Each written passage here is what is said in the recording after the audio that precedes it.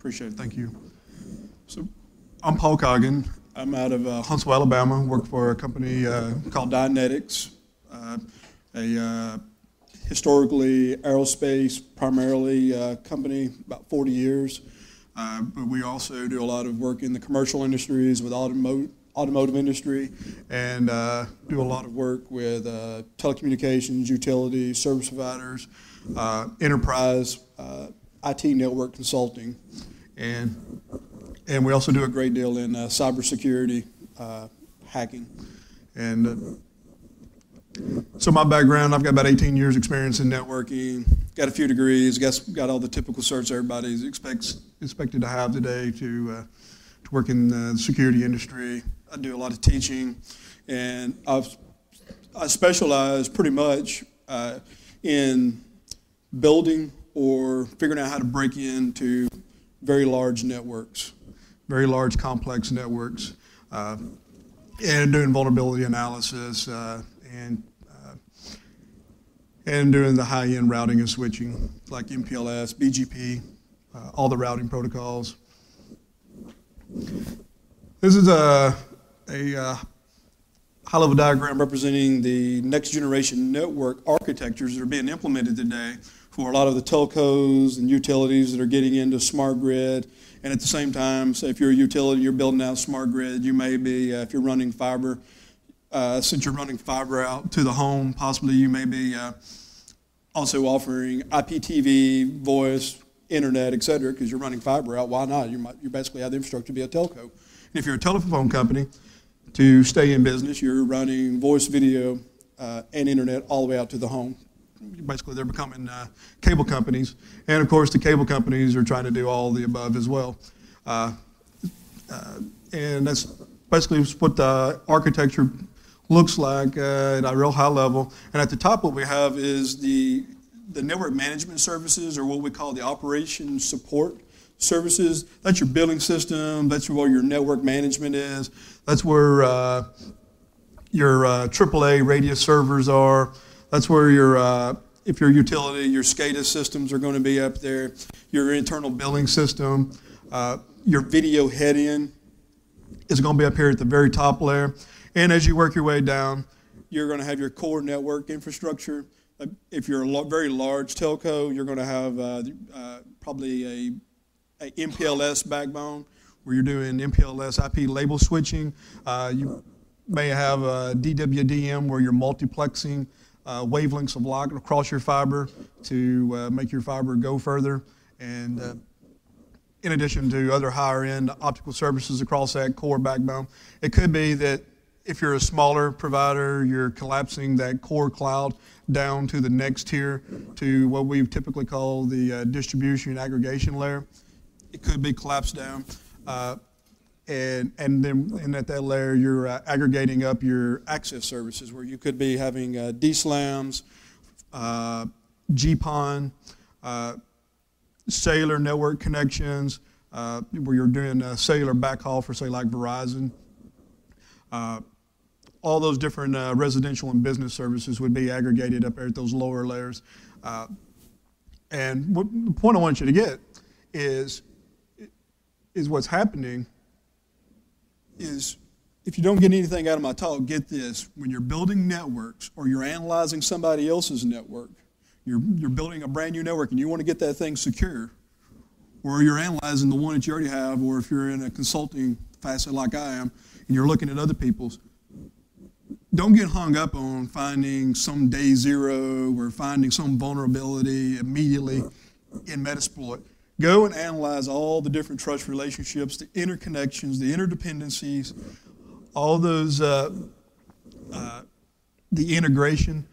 Because if you understand all that, you can go and find the weaknesses and vulnerabilities that are inherent through all those different trust relationships and interdependencies and and better secure the network because the bad guy's not looking for one just little vulnerability. He's going to analyze things and he's going to look at how everything works and then he's going to find that one piece and start pulling on that thread. Uh, and so, like in this case, you have online bill paying now where everybody wants to be able to pay their bill online. You've got the smart grid. And you know, where everything is going green, trying to get rid of the truck roll the home so that you basically somebody can pay their bill online over the internet. When they pay their bill, it connects to servers in the uh, in the upper part here, in say the internal billing system. That turnarounds and talks to a provisioning system, and if it's a new service that it, with auto provisioning end to end from the from the internet up to the network management all the way down to the business or home, new services could be automatically turned on or services can be automatically disabled, whether you if you didn't pay your bill or not.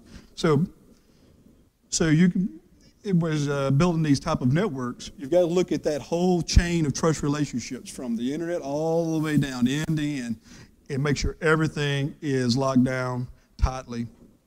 Uh, an example of uh, those trust relationships and interdependencies and uh, interconnections here. This is an example of a uh, transport network, kind of like that uh, cloud we were looking at on the previous slide, in the middle of the slide there. This is like a transport network where you might have the, the high-end routers doing the MPLS routing, uh, the DWDM where you're uh, breaking out different frequencies of light uh, to run across your fiber. Uh, so you might have one fiber with, say, 80 different lambdas, light frequencies being multiplexed across that fiber in the backbone there we're showing. Uh, and uh, you could be doing cellular backhaul, et cetera. But one of the things that we always see from a trust relationship standpoint is you might have a say a vendor that goes and provides you the hardware for this for this one piece of the network for this transport network. And that vendor is going to have a network management application for just their hardware. That network management application is called an element management system. Uh, now, that element management system may be tiered and managed by another network management system, say like HP OpenView or Netcool, but that piece of hardware there, that, uh, that optical box, uh, uh, SONET, DWDM box, or uh, say a high end router, for example, or DSLAM, uh, it's going to be it's going to be managed by a, a vendor specific software application to make it very easy to provision troubleshoot, and manage those devices. And when they roll that into a, to a network, one of the things they're going to want to do to make it so that you're very happy with your new network is they're going to want to have remote access from their network into your network. So that when you call and you have problems, instead of having to tell you step by step what to do, they're going to want to just come in and hand jam it out themselves and just get, get you off the phone and get, you know, get, cut the email train loose so that they can go and fix your problem very quickly. And so when in that case, you've got to be very, very careful about locking down the remote management, both internal and external to that network. And in many cases, if if the security guys are not involved with whoever say is running the this this part of a network project, that vendor may come in, and I've seen this happen real world. What I'm going to talk about, I've seen happen in real world. The, the, the network management tech is going to want to get his project closed out, and they ain't going to call the security guys. Security guys are problems. Security guys get in the way of progress. They want to put in firewalls, put in access lists, limit who can talk to their boxes, et cetera. And so what these guys sometimes will do is they'll drop in a two-leg box, a multi-home, say, Unix box, with one leg to the inside and one leg out to the internet, bypassing the security guys' uh, investment in firewalls, VPNs, IDSs, NetFlow, and all that. Totally bypass it. Poor network guy doesn't know what's happening because they just go and do what, what, what users do. They find an empty connection and they start plugging things in. You know, you leave the room and they start patching in. Oh, I got a link light. I can ping. We're go. Uh, ask me. Uh, this is this is real world. Uh, and, and then you find out that this happened to you when some bank over in Europe calls you and tells you to cease and desist, you know, by you know by way of a, a letter from an attorney, and you're like, what? Somebody, I'm looking. You're looking at your logs. Ain't nobody. Our stuff's cool. No, you start tracing it down. The CEO has a letter from a lawyer. You know, you got to start scrambling. Then you find that some somebody's that put in that multi multi home box and bypassed all your security. So you got to go and get get heavily involved with these projects and make sure that those trust relationships are knocked down or locked down so your network doesn't get knocked down. Uh, now, when I have uh, I have, uh, this is the process that I go through now, whether I'm uh, looking at vulnerabilities and just doing vulnerability analysis or doing vulnerability analysis in preparation for a penetration test. And now if I'm uh, trying to build a new work, a new network, uh, for, and doing design work up front for a customer, I make sure that myself and, and I'm teaching uh, the network guys that work under me to look at the whole OSI model. Nobody wants to learn the OSI model. They say, oh, that does who, who, nobody cares about the OSI model. You tell me you don't, you don't go and study the OSI model, and I'll tell you, I will hack your network. Never fails. Always get in. The guys who do not go and take the time to learn the seven layers of the OSI model and learn the TCP/IP model and understand those different layers and what's happening in each layer and how the bad guys may be studying your network based on those different layers. There's a weak link somewhere. There's a trust relationship. There's an interdependency. There's an interconnection somewhere that all I've got to do is find one of those layers, and all the dominoes in the upper layers are going to fall. Layer two, I wish somebody would secure layer two. I wish somebody would do it. I've been in this business I've been, I've been doing uh, penetration testing probably since, I guess, uh, 2003. And I have yet not to see somebody's network that you couldn't run a ARP poison attack against, for the love. They got everything patched, hard to guess passwords, you know, passwords this long. You can't, you can't, there's no Metasploit buffer overflow. You could have Canvas, you got Core, you got all the tools, all the cool stuff. You know, you got unlimited budget for tools, and you're running against the network. You ain't finding nothing. But if you can get local access in that network, you're going to find the layer two hacks, uh, whether it's uh, ARP poisoning or uh, uh, or uh, any of the uh, switching protocols, the routing protocols, and I'll show you some of the uh, an example of a protocol running at, at layer two. But you but everybody typically is worried about the, the higher layers, but you got to look at the whole OSI model. So when we're going to study networks, this is something that we also do when we're looking at laying out a new network or to, to build or to test uh, under contract, under a legal authorized contract to uh, do a penetration test, vulnerability analysis. We're going and study everything we can about the network architecture, based on the OSI model, what the routing protocols are, how's the transport network going to be built, who's providing all the, the equipment, the protocols that they're going to implement, or we're going to use open source, commercial, uh, what, what can we understand about those? But we put a very deep focus on those trust relationships between uh, all of the different applications and systems that have to communicate together. And based on what we derive there, we come up with an attack tree. And an attack tree uh, is going to tell us, give us a really good idea is if we're building the network for somebody, how would an adversary approach our network possibly? And if we are the adversary under legal authorization, this is how we're going to go after the network and step through the network to uh, possibly take it over. And my role on the penetration testing team uh, for our company, I'm the router guy, I'm the network guy. We have guys that do applications, guys who do databases, guys who do operating systems. I'm the network guy. I want to go after the network devices.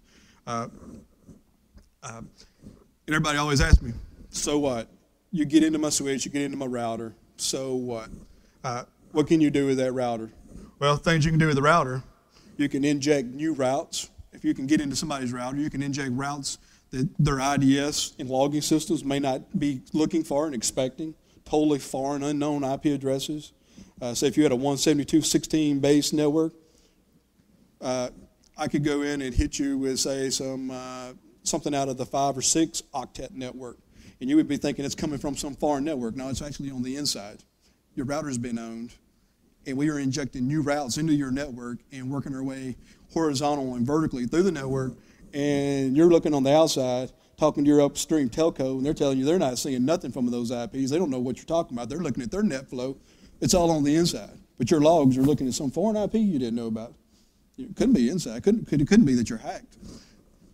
Uh, uh, other thing is, is if you can get a hold of the router, you can uh, put in uh, route maps. With route maps, What you, what you can do with route mounts, if you're not a uh, router guy, is you can override the default global routing table that the routing protocols may have built. With, uh, with route maps, you can override that and develop an access list that defines the IP networks of interest to you and set a whole new policy that ignores the routing table and forces traffic to take a different path than it normally would. OSPF or EIGRP or your static routes may say to go this way. That route map will say for the traffic that you've specified of interest to go a totally different way. and maybe bypass your security infrastructure, maybe bypass your logging, maybe point it toward a tunnel. Uh, uh, another thing, uh, if you've got uh, routers uh, that's got the high-end code on it, that, that have a very rich feature set, uh, it could be, it could be that there could be a capability called lawful intercept in there. What lawful intercept is, you heard of the Patriot Act, uh, CALEA, basically IP-based wiretap.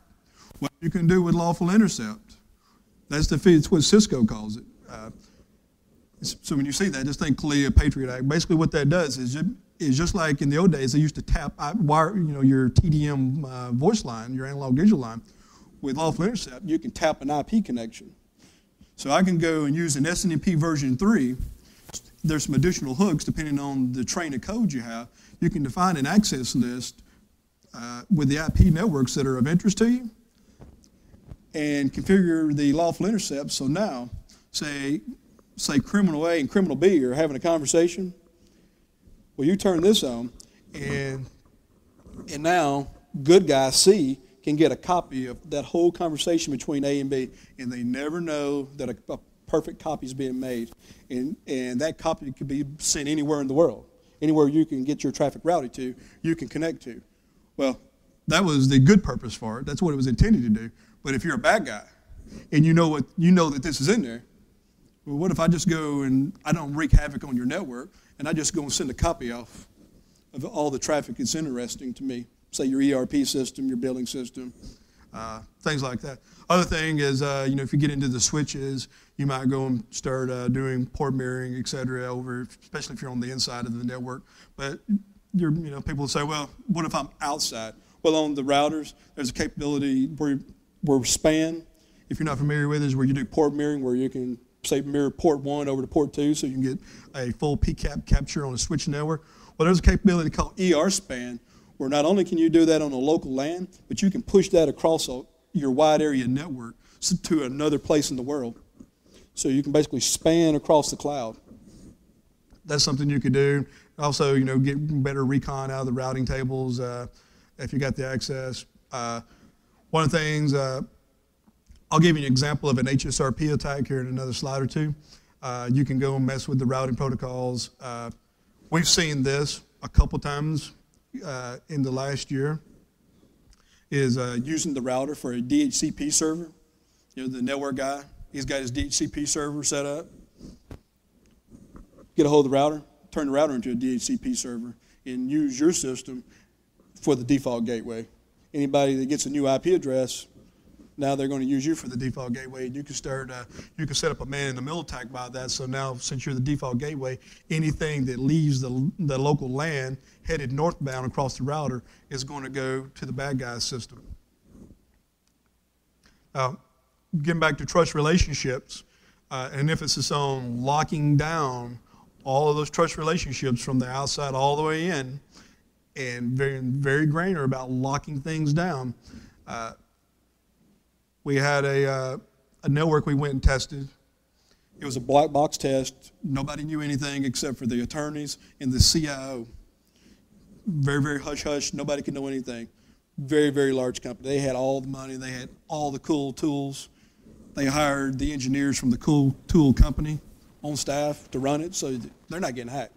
They had the firewall vendor SE they recruited, the IDS uh, logging uh, companies, uh, uh, SE that they hired on staff to monitor this stuff to make sure their network uh, didn't end up on pastebin. Uh, uh, but didn't work out well. Uh, so we came in. We had to go. We had to go very quietly. We had to be very stealthy. Couldn't go and uh, you know break any glass and make any noise and get ourselves uh, blacklisted. So we went in and did the traditional recon. Found out a whole lot of things about the about the organization on LinkedIn because everybody likes to brag and uh, start working on their next job using their LinkedIn resume and bragging about how smart they are and all the applications that they've implemented on that current jobs uh, network. And we discovered that they had some web application issues that we were familiar with, and were able to get a shell prompt uh, based on the recon we found on LinkedIn. We were able to go and get a very quick, very precise shell through a web application that they were running. And uh, but the problem with that shell that we had is you could only uh, it was only read-only access. You could do a little directory traversal, and uh, being a uh, one of the things that we found with that shell is we were on a Solaris box. And uh, the younger guys that work for them, they all know Windows and they know Linux. You know, nobody knows Solaris anymore except for so old guys. I happen to be a, uh, had, I used to be a, a Solaris guy in a uh, previous life back in the mid 90s. And I knew a couple things about Solaris. One of the things I knew was it, about NIS being the directory service equivalent to Microsoft's Active Directory today. And I had them go and look, and, uh, and they, we found that there was an NIS process running. And one of the things I've discovered, if I find a Sun box running NIS, never fails. If the organization is running NIS, they have Microsoft Unix services running, and they have a trust relationship between that Solaris NIS service and their Microsoft Active Directory service and I always get a great big smile because I know what's fixing to happen. The dominoes are fixing to fall. It's going to be lots of PowerPoint, screenshots. It's, we're going to have a great time. Some, somebody is not going to when we give the out brief. it's going to be ugly. Bring the Kleenex, you know. Yeah. References for a couple recruiters somebody might want to contact. Uh, and so what we found is we went and uh, found that they were running NIS. And one of the things you can do with NIS even if you only have read-only privilege, read-only privilege, is, is you can run this command ypcat and it will spit out the password file. It's read-only. You don't have root. You can't look at the shadow file. But if they're running NIS version 1 on some particular versions of Solaris, you hit that ypcat, it'll spit out the shadow file, hashes in the password file. So we got we got the hashes. just so happens, you know, trust relationships again. When we when we spit out that uh, that Solaris password file, it had all of their Active Directory username passwords in it as well, and so we had the keys of the kingdom. And now, granted, the Active Directory was on the inside of the firewall. They got a firewall, a big firewall, and they got a vendor, SE, that they recruited to work for them directly So they're cool. They got a firewall and they got IDSs and everything. Uh, but because of that trust relationship between on the outside of that network between that Solaris system and that Active Directory, now we can totally own their system. Now, the CIO, we had to we had, we had to talk to these guys. They, typically, we had to go and step our way all the way through. They always tell us, you know, please don't crack passwords. They don't want you to go crack all the passwords because it causes IT chaos. You know, if you start cracking passwords, especially for large organizations. Uh, so we stopped, uh, like we typically do. Don't, it's very rare that people want you to go and, like I said, uh, crack all their passwords for them. Uh, they submit, surrender at that point, typically. Uh, but to finish, to see what all else we could find, uh, to drive home again the trust relationships. Who do you trust to connect to your network and specific services and, and, and different steps in different layers through your network? In this case, we found the firewall. And the firewall management interface could be managed from the internet. It trusted the world to connect to it. But they got a password on this thing, a hard password, a really good password. But because they had a trust relationship that was open to the world, and we had the passwords, we could connect in with that, that VPN client that you use to uh, manage that firewall and and could manage their firewall. We didn't do it because we didn't break the passwords, but we could. Wanted to really bad, but we're an ethical company and uh, we don't we don't do things like that. Uh, unless we're under legal authorized agreement to do that.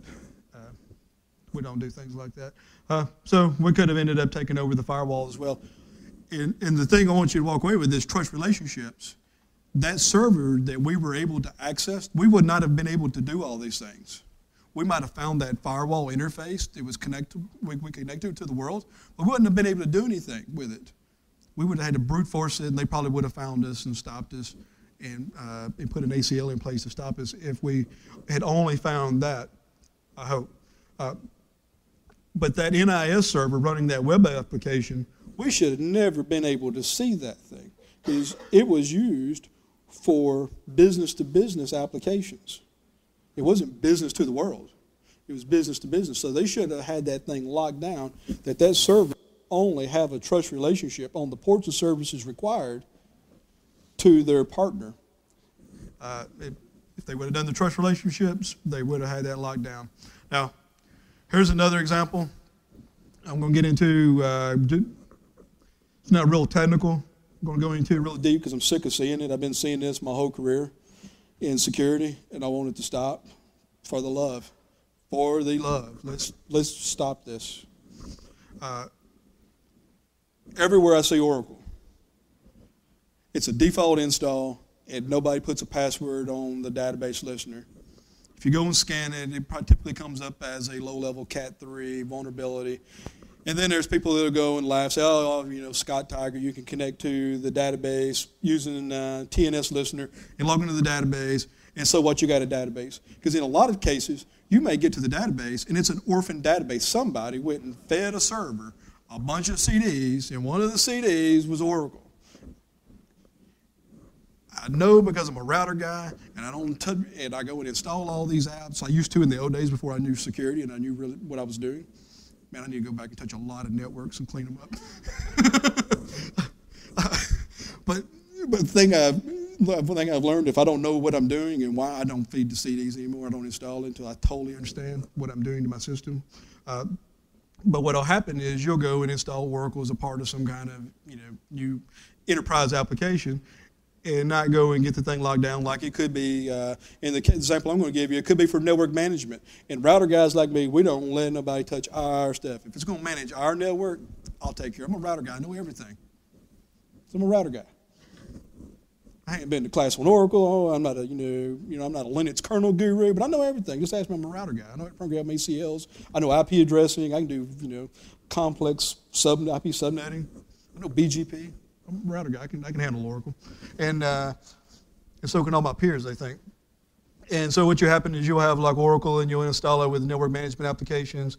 And in that system, you'll have your network locked down tight. I mean, you got access lists that are pages long. You can kill a toner on a printer, print out your router switch configs because all the access lists you have on it. That's cool. But you might not know Oracle in your Windows or Unix system that you put your network management application on as good as you think you do. And what we typically see, and it might be GIS, it could be any number of systems that'll have Oracle under it, but we're going to pick on network management. And what'll happen is we're going, and I'm going to show you, is you got your switches and routers locked down, but you didn't know, but you had Oracle underneath, and we're going to find that open listener and and instead of picking on Microsoft, you remember the old XP command shell where you could go and get a connection into Microsoft SQL Server and run the XP command shell stored procedure and drive uh, commands just like you were logged in locally? Well, I kept on running into Oracle, and I was like, can't you do this with Oracle? Well, it turns out you can do it. It's a little, it's a lot harder, but you can do it. And, and so we've gone in, our scenario here is, is we've, we're going into a customer under legal authorized contract agreement all the lawyers and executives have signed off on it. Everything's above board. Asked us to go and test the network. We find a uh, Oracle listener setting out on the uh, server that has not been uh, locked down securely, as it should have been. Uh, you know, we put passwords on our Windows systems. We put passwords on our routers. Why not go and put passwords on the connections to the databases? And not just the login account, but the listener the client server protocols as well. Now, so we go, what you can do is if you find an open listener out there, like using your Nessus or eEye Retina scanner, there's a tool called OScanner that you can download. And you can point OScanner at that database, and it will go find all the default username passwords that are out there. Now, it's very rarely that I find a real database that's in use, of what they call an Oracle instance. But whenever I do find an Oracle database that has a uh, installed and they have a real legitimate application, there's always a default instance there. For the love, kill that default instance, get it out of there because it's a security vulnerability. Because you may secure one instance, but what about that orphan default one? Somebody may come in and looking for that thing in an audit one day, uh, or a bad guy uh, could find it. And so we're, we found in this case we found system, system, sys, others and we found, you know, the, uh, the Oracle instance test database here that we're going to use to, for uh, our talk here. So what if, what if somebody sat through this talk or one of the talks I do around the country uh, about this and they've, they've actually passworded the listener? What can you do? Well, there's a tool called uh, uh, Oracle uh, Brute Force, OraBrute, they will go in and uh, brute force attack the uh, database listener for Oracle if you ever find one. And if you ever do, email me and let me know you found one because I'd like to know somebody put a password on that listener because I've never, ever, ever seen it done, ever. And I'd really like to know somebody's done it. Uh, and if they if they did it because of me, I'd like to have credit for that too. I'd like to know it. They influenced somebody for the good. Uh, so we've connected into the database here in, in the middle of the uh, screen. We've logged in to a system to test database, put in the password. We've logged in. Now we're at SQL. What are we going to do with SQL? We're not at a command shell. We're not at, you know, with a dollar prompt. We're not at a C prompt. You know, what are we going to do with this? So what we're going to do, turns out with Oracle, and unlike, uh, you know, the old Microsoft SQL where you can just drop in and start doing XP command shell, with Oracle, we're going to have to do a few things. First thing we're going to do is we're going to have to give ourselves read, write, execute permissions. So that's what we're doing here. We're running some uh, SQL commands to grant ourselves permission. And, and after we give ourselves read, write, execute permission, we're going to write a short Java stored procedure that is going to allow us to run command shell commands just like we're logged into the local box as a MCSE. Uh, and so in, so in the top, we have developed our little script. The first 12 lines is a little bit of, uh, of Java stored procedure code.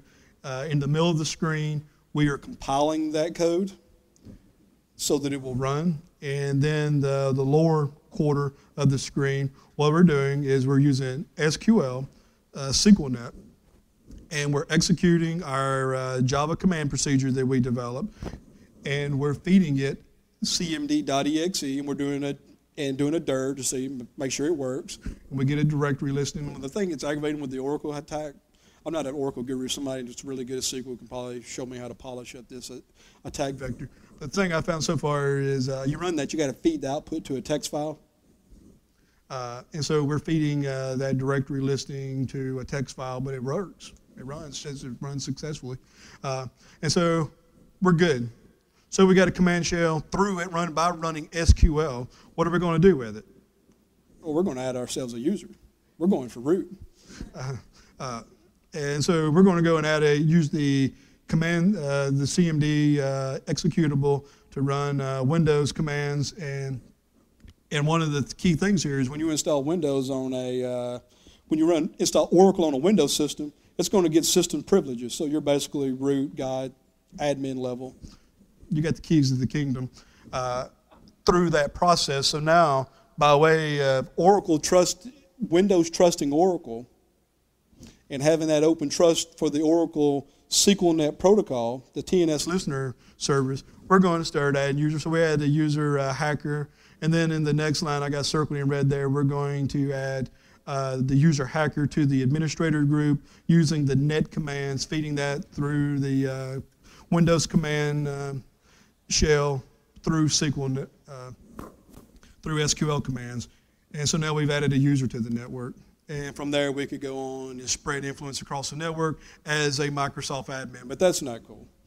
We want to go do more. We really want to go and show what you could do through SQL about, the, about having access and being able to pivot just through SQL. Do something interesting.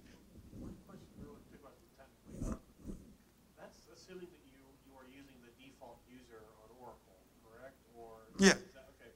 Couldn't you just recreate the default user to not allow those permissions? And would, and, and no.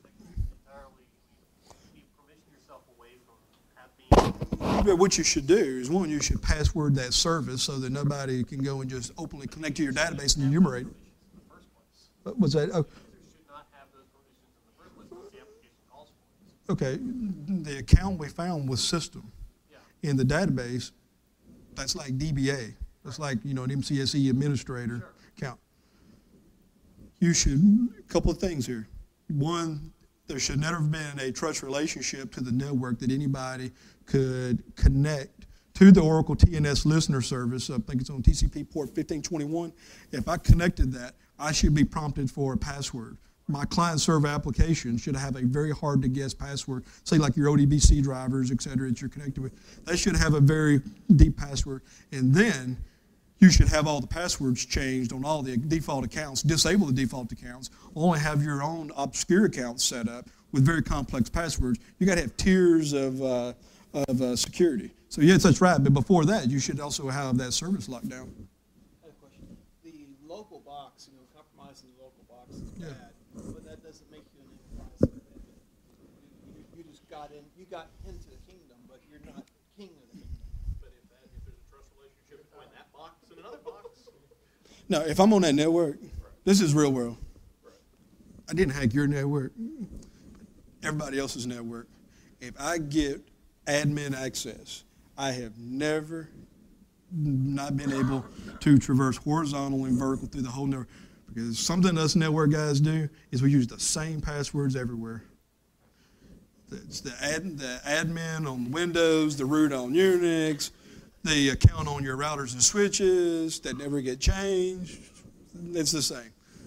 Uh, and even if even if you did change them other places, I got admin access on this box. I'm going to upload tools and I'm going to get your passwords too. what if you disable passwords and just go with straight SSH keys? You might have something there. Nobody does. I haven't seen that. Really? Yeah, I don't Okay. deal with passwords. If it's not a crypto key, forget it. Right, yeah, and really, uh, secure ID, two-factor, two-factor authentication is where, Moving towards that, I'm not there yet. yeah, yeah. If you want to stop APT and stuff like that, you need to go to two-factor. Passwords are garbage. Passwords do not work. If I can malware you, if I can get you to open it, you're it's over with. Passwords are useless. I'm not an Oracle person at all, so think that this is a primitive question. Okay, no, I'm not either.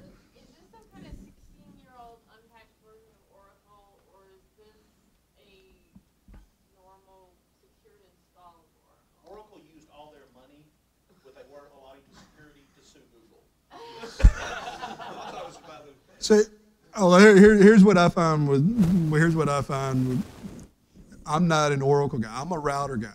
I know routers and I know how to break into networks. I know how to build networks, secure networks, and break into network infrastructure. I just kept finding this, and it was annoying the daylights out of me because we'd write reports and we'd have this vulnerability, and there was always this so what factor, and it was driving me crazy. We kept finding this thing. What can you do with it? This also completely dodges the point that uh, if an application is sit- sitting on top of this, you've completely owned that application. Oh, yeah. What is that application tying to other app- applications? Right. And there's typically an API connection. That's right. It's all about those trust relationships, that whole, you know, the OSI model, going, moving your way up. Even within, even within A, or the, the A level, uh, application level, I would say you need to expand that further out and Absolutely. look at all the API connections. Absolutely. Yeah, yeah. I'm with you. I agree. So this is basically, I'm asking, this is just how Oracle works. There's a more generic pattern here also. Okay, got it. Yeah. And and anybody and anywhere I've gone, if if somebody lets Oracle in the building, they install the CDs. They don't they don't lock this down. Somebody might do it. Some people in this room, 2600, me, they probably lock it down.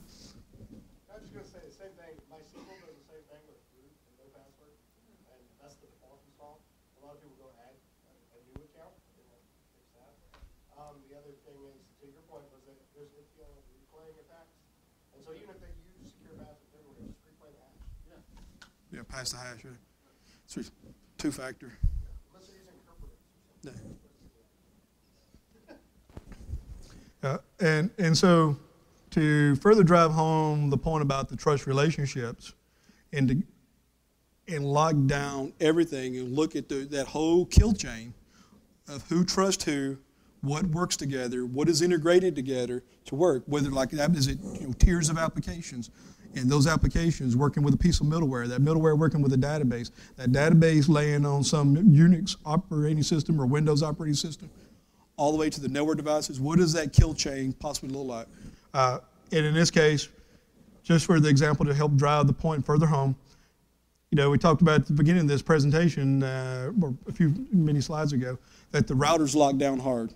You know, you print if you print out the router config, you know, it's going to kill the printer cartridge. You might have to put, change out the toner.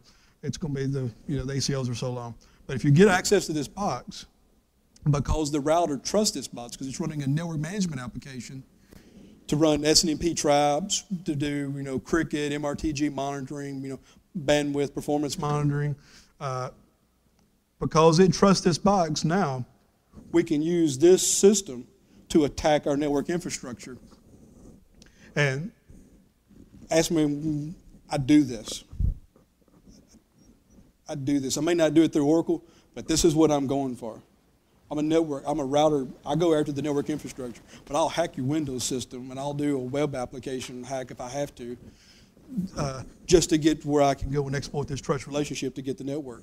Uh, and in this case, we're going to do that, and we're on this Windows box, and they don't have the tools I need to run through uh, a SQL, com- uh, the SQL command we've built. Uh, so what we're going to do is we're going to use uh, T, we're going to use TFTP to to up, upload snmpwalk.exe. Uh, if you've uh, been through the EC Council CEH class, you know, they got all the tons and tons of tools. And whenever I teach those classes, everybody's like, you know, what are these old commands? They don't matter. Oh yeah, they matter. You may not un- you might not understand unless you take my class. You take my class, you will understand and appreciate this because I go old school. Because your customers in the network, your next job is going to be old school, and they got old school budget, and all that stuff still works. Uh, and so we're going to go and upload snmpwalk.exe that we download off the web. And uh, we run TFTP, pointed toward the IP address of the router, get that uploaded using TFTP.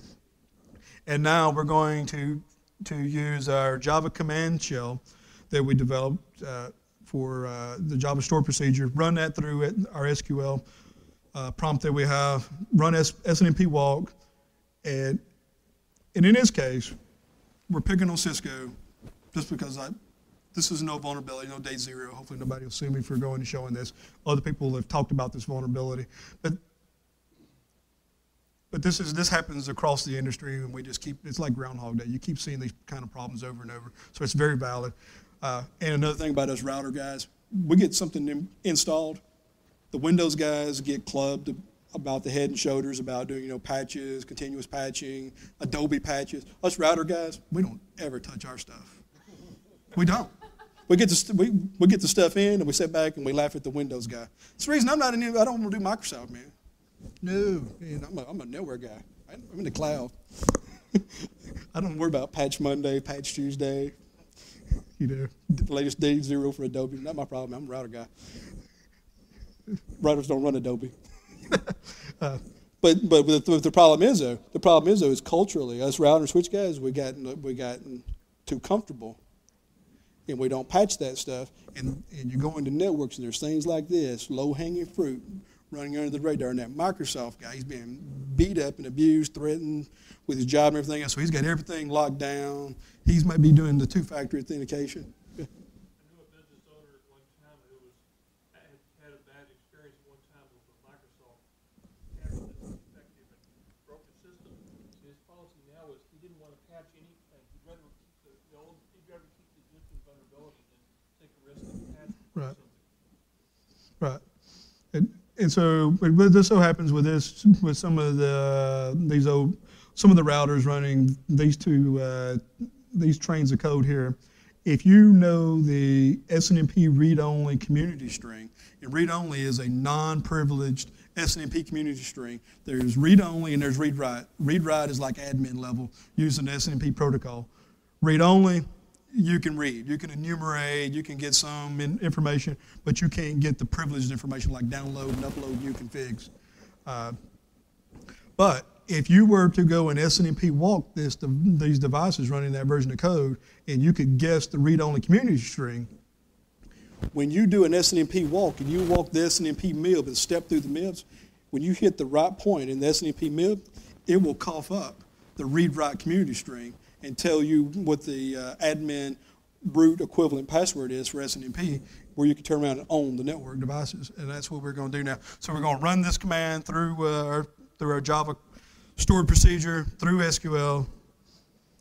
SNMP walk the router, the IP address uh, 192.168.1.2, and we know that that ISO dot number number number there. That is the specific point in the MIB that we want to walk, and and we fed that to a text file, SNMP log one uh, dot text here, and here, here's the output.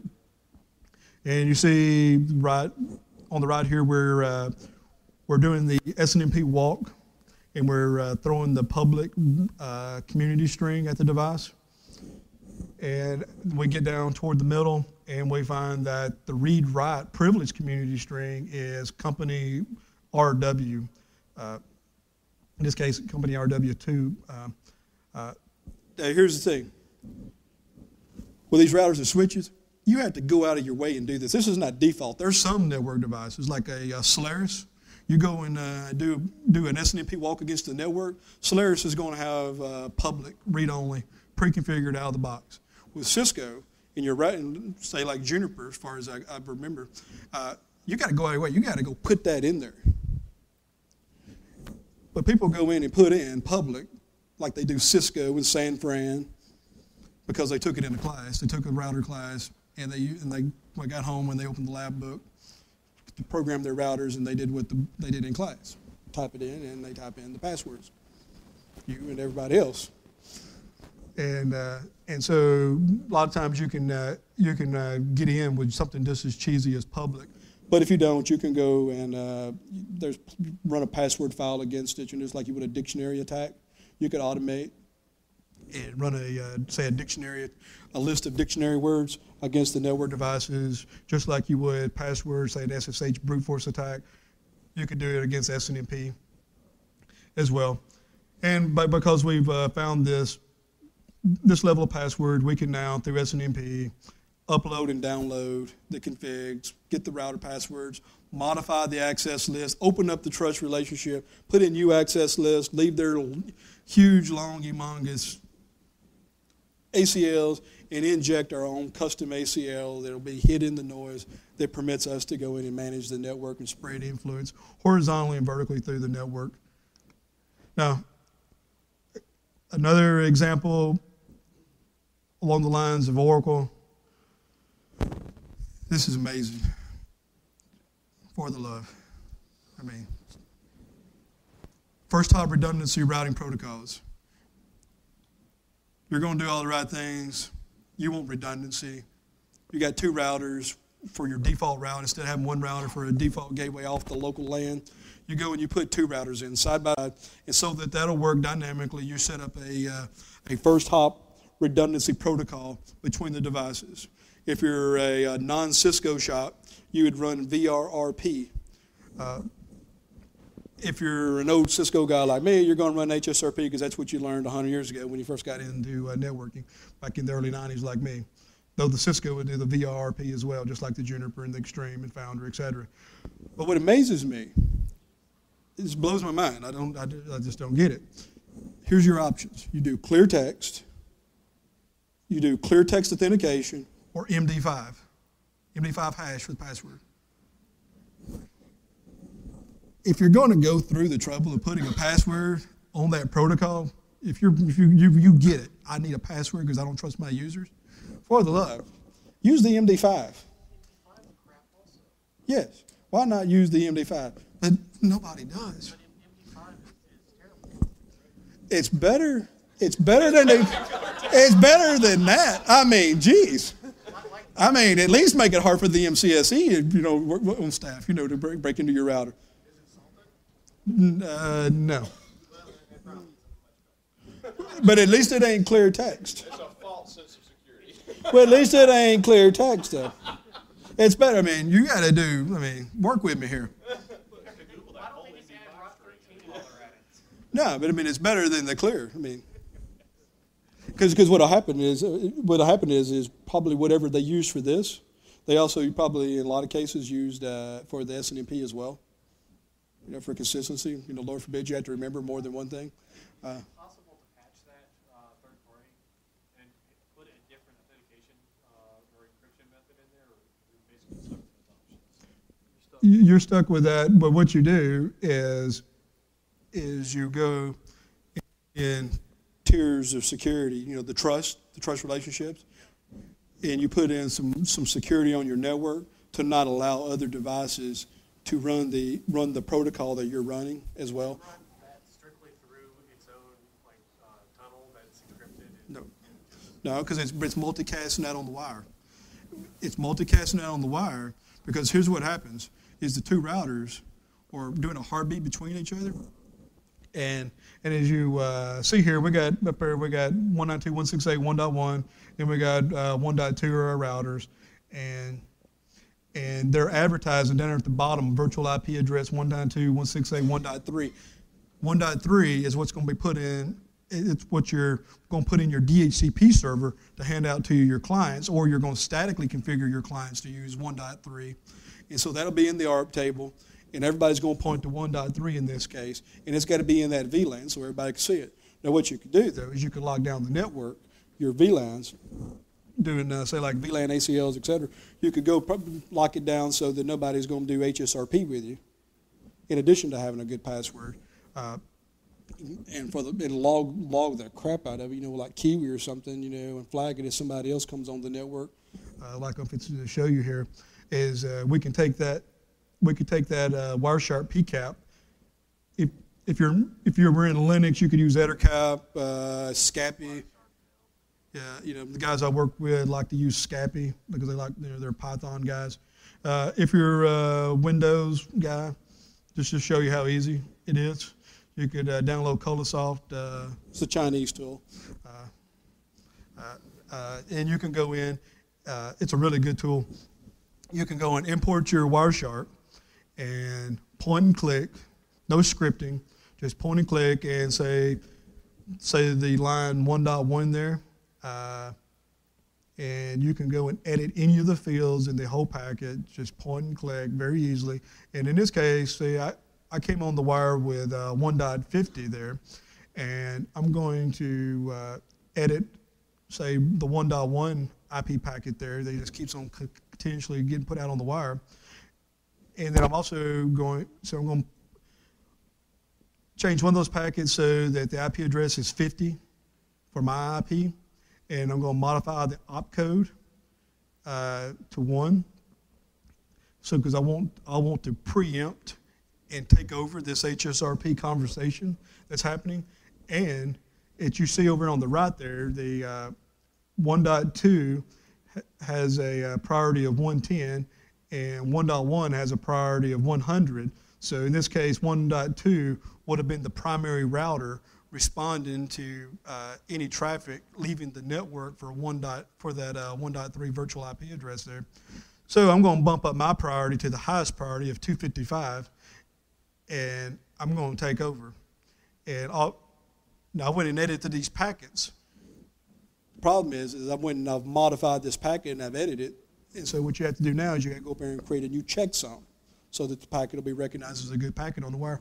Do a checksum, and then you can go click on send, and you can go and replay this on the wire with that heartbeat and take over the network. And then what you could do, what would happen is if if my computer that is uh, running on the 1.192.168.1.50 IP address, if I've not set up to do IP forwarding, well, I just caused a denial of service attack. If I'm set up to do IP forwarding, any traffic leaving the LAN headed northbound out the router is going to come to my computer and then I will forward it on. I'm not going to get the the uh, traffic that's headed back south, say from the cloud back to me, but anything leaving the network, I'm going to capture a copy of. Uh, and you can do the same thing with VRP and some of the other protocols. Uh, excuse me. Uh, One of the big recommendations I have if, uh, is to get some instrumentation on the network. Get some visualization and instrumentation on the network. Know what's happening on your network. Baseline that network. Know what normal is. What is normal? How do I know I've been hacked? How do I know it's just not some computer is misconfigured? Right. Right. You know, if you want to detect APT, you know, APT is all in the news, you know, the Chinese, you know, cyber Armageddon. If you want to know what normal is, but get, get some tools on the network uh, and get it baseline. A really, really good book to get if you're into open source and you don't want to go and spend a lot of money on uh, commercial tools. There's a new book out, uh, Network Forensics they go into really, really good detail in that network forensics book on a number of open source tools that'll help you get uh, visualization on the network for like NetFlow, PCAP, and so you can baseline the network and figure out what is normal so that when uh, somebody hits that link or opens that piece of malware up, uh, uh, you know, some hot PDF, and ET starts phoning home, well, you'll know about it. You know, they start doing exfil at 2 in the morning. Well, if you've got this capability, you know, hey, we don't, we don't have traffic leaving our network at 2 in the morning.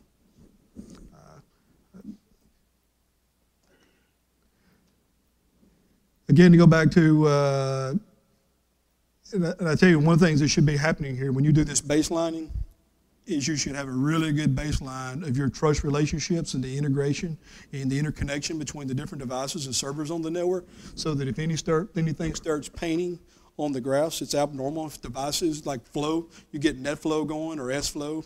Uh, so the, you know, why is my printer talking to Southeast Asia? One, one, why is your firewall and your routers permitting your servers on the internal network or your printers on the internal network or copiers to talk outside of the network? I mean, really gets back to trust relationship. You know, why, why would a printer talk to anything other than the print server? But if, it, but if you got things locked down, and you got good, uh, good baseline historical graphing, you could catch something like that. Uh, here's an example of, uh, got two stories here with this chart. Customer who put in a great deal of visualization on their network, a telco service provider. They put in a lot of instrumentation on the network, logging anything happened, anybody logged onto the network, anything abnormal, they were, they were graphing it and monitoring it, and they had it all baseline and they could tell when any uh, nonsense was happening. A second customer, they didn't have anything. They knew better. They could, they could hold they could hold the fiber in the rack and they could tell. You know, they were they were a supreme ninja. If you didn't believe it, just ask them. You know, they were a you know, deity network guy. Uh, until somebody decided to write a script targeting DSL routers on their networks. And I don't know who else's networks got targeted. Uh, but I know two that did, personally. And uh, the one uh, that put the instrumentation on, when that uh, script got fired up, started targeting all the DSL routers and exploiting the open trust relationship that those DSL routers had so that anybody from the internet could, could connect to those routers. They were using a uh, backdoor username password and then going and reconfiguring those routers to point to uh, to use uh, some bad DNS, so that when the home users get, did DHCP, they got bad DNS, and then they'd go off to the wrong sites and uh, and uh, get their uh, connections hacked. Uh, they were able, the guys with the visualization on the network, they were able to catch it very quickly what was happening. Now, what they should have done, they should have went a step further and locked down and only permitted trusted IP addresses on their internal network from their technicians to be able to connect to those DSL routers for remote troubleshooting and remote monitoring instead of trusting the whole world. But they at least had part of it right. The other guys, they didn't have no visualization and they didn't have the trust. There's no telling what else is hacked, they just haven't found out about yet. It's the letter you don't get you got to worry about. Um, so that's one, that's one example, again, of uh, the trust relationships and the visualization. Uh, again, uh, putting visualization on the network, whether it's open source or the commercial tools, I'm really big on having the ability to get a large amounts of PCAP and long-term NetFlow storage. Storage is cheap now. Hard drives are cheap. I want baselines forever. I want to know what's normal and abnormal and be able, when needed, looking at historical flow data and uh, performance data, be able to go in and grab full PCAP when needed to troubleshoot problems. In this case, had a customer, they put all the right tools in place, had a training issue, had a training issue. Guy wasn't trying to uh, be mischievous, just trying to do his job. Thank goodness they had the tools on the network to troubleshoot. Got they had a uh, transport network set up so that to run uh, triple play, what we call voice, video, and internet. Triple play services. One phone bill. That's the big selling point. One phone bill. Get your cable, internet, voice, one place.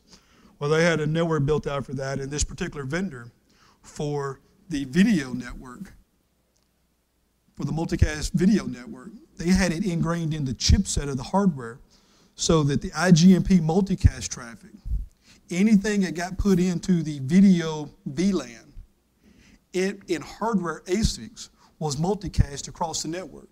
It did not wait for the normal IGMP process to happen. It immediately did it in ASIC, basically broke the RFCs, but they wanted it the network optimized so that video, so that when you're sitting at home clicking your uh, remote control, changing channels, going between channels, and what the, the customer didn't know that is that they're when they hit when they change channels, they're changing IP multicast groups. So they want that to be really, really fast. So what this technician did is they accidentally provisioned a large group, a ring of internet traffic over into this video network. And this was before cable TV was even put on the network. It was just out there, ready to be used. They're using it now. Uh, God, Lord forbid they do make that mistake again now that they're in the cable TV over IP business. But when he put that, that internet traffic over into that video VLAN and the hardware ASICs were doing IGMP in, in the ASICs automatically, you can imagine what a bunch of internet users, eh, like in the thousands, do. They're out there doing ICMP ping, denial of services, you know, the old malware type stuff, you know, doing DOSes against Microsoft and whoever else everybody's against today. They dropped that over that network. All of a sudden, that denial of service against Microsoft, it was attacking the whole network and, say, Microsoft and whoever else it was targeting. And what we were able to figure out, because they had the instrumentation on the network, we were able to understand what was happening. Because that hardware was doing that multicast automatically, we started looking at the PCAP, the Wireshark captures. We were seeing ICMP ping traffic encapsulated in multicast IGMP. You don't multicast ping. Ping is unicast, me to you. But this stuff was being encapsulated again in another layer two packet, shot out across the wire. And That gets back to that OSI model. Because I saw that, I saw that, I was like, what in the world? And I had to go back old school OSI model, like, this is how stuff works. You know, what in the world is ICMP ping in huge amounts doing an IGMP multicast? Like, oh, we've, we put this thing over into the wrong VLAN. And, uh, and uh, it took out it took out a transport network, the whole backbone for a large service provider. Bad. But if we if they did not have the visualization, instrumentation, and baselining to troubleshoot that, we'd still be there today trying to figure out what happened.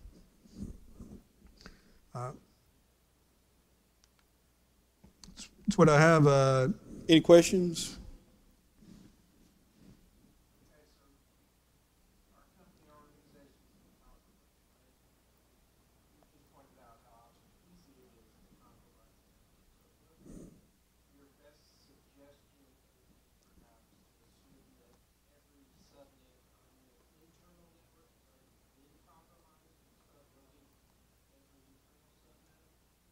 Yeah. Uh, so, so the question is, you know, uh, assuming that your network is compromised, how do you start looking at it? And here's my advice: your network's compromised. Here, here's here's the facts. There's the people who know they're hacked. There's the people that think they may be hacked, and then there's people who are in total denial and ignorant of the threat. If you have anything of value, if you're a business and you have anything of value, somebody's trying to get in and they're sending you and your user stuff all the time. I get hit. I get people sending me junk constantly, trying to get me to open PDFs and things like that. They're targeting people. If you got anything of value, they're going after you.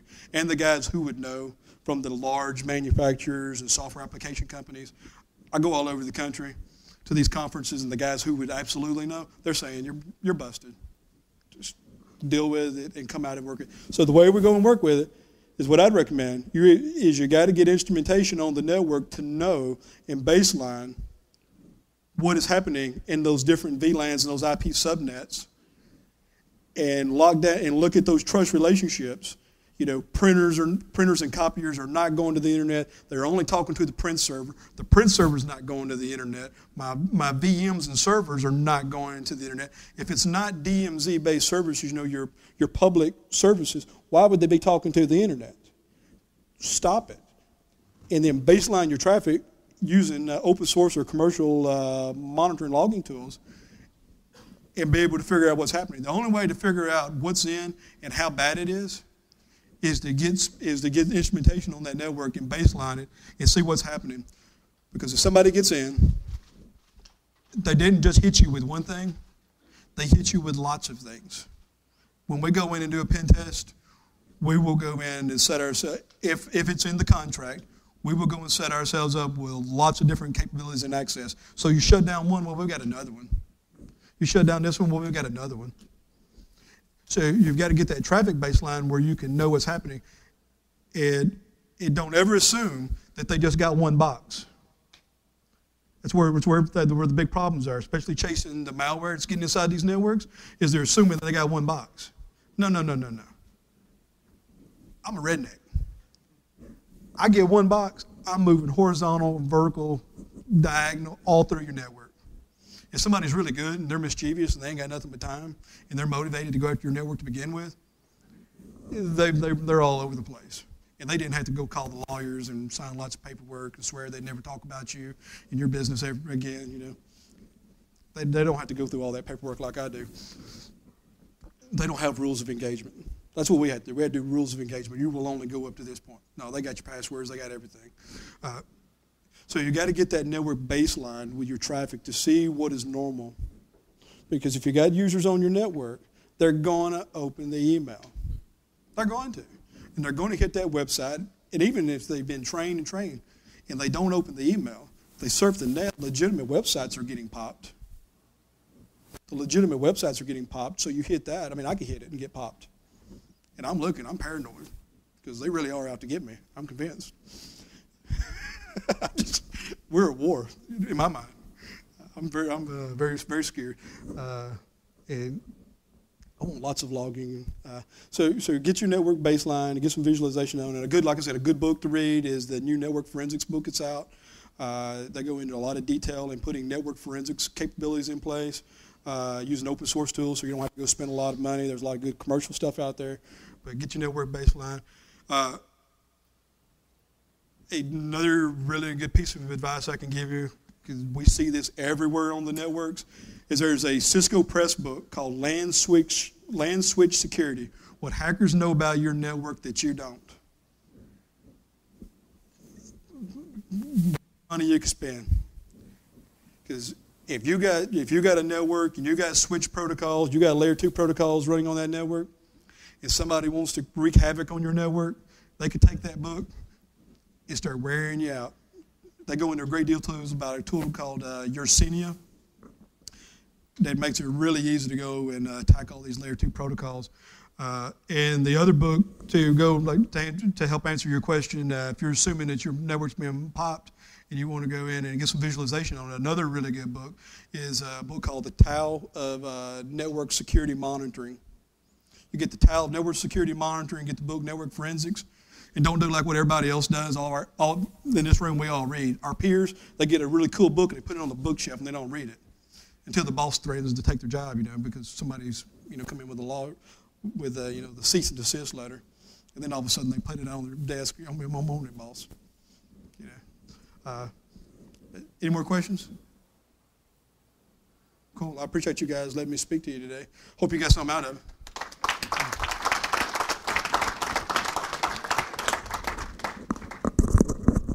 We'll go ahead and take about a 10 minute break before the next presentation. So, 10 minutes.